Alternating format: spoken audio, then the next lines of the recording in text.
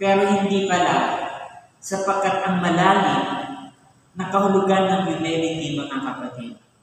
Humility is to recognize ourselves who we are before God. Ang humility daw, hindi yung nagpapaapi ka lang. Hindi yung hindi ka na lumalaban lang. Hindi yung hindi ka na nagre-react.